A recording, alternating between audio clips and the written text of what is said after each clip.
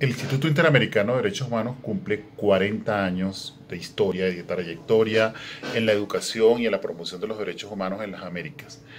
Nació en una coyuntura muy particular en las Américas en 1980, eh, cuando fue creada por la Corte Interamericana de Derechos Humanos, en la que se destacaba pues, que la mayoría de los países estaban viviendo bajo dictadura y pues, el desafío fue la transición.